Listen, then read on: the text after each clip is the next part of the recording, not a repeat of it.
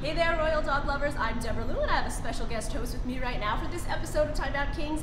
This is my puppy Chili, and he wants to remind all of you that voting for the Elite Eight in the LA Kings Bark Madness bracket ends this Friday. And if you're still on the fence about who to vote for, maybe these guys can help you out.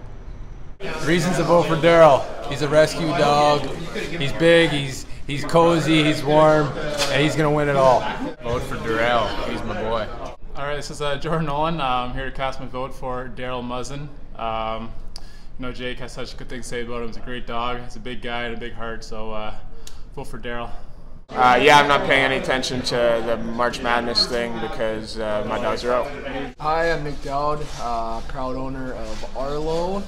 Um, just a little background on him. We got him from Wisconsin, from uh, Maple Hills Kennel. Got him when he was eight weeks old. His best trick is, uh, I guess, sitting up on uh, two legs and uh, waiting, waiting for his treat. So.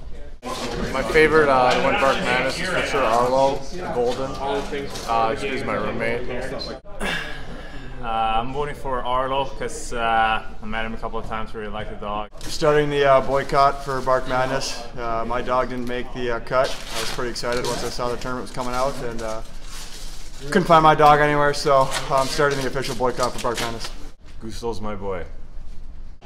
My vote for Bark Madness is I vote for all of them because they're all cute. To cast your vote for Bark Madness, go to lakings.com.